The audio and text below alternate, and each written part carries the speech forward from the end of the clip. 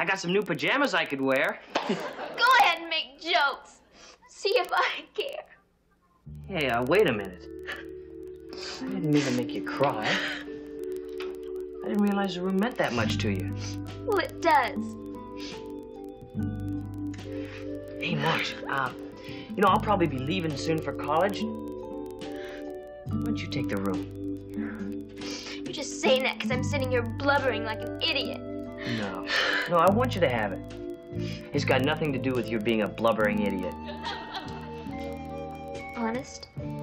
Honest. Thanks.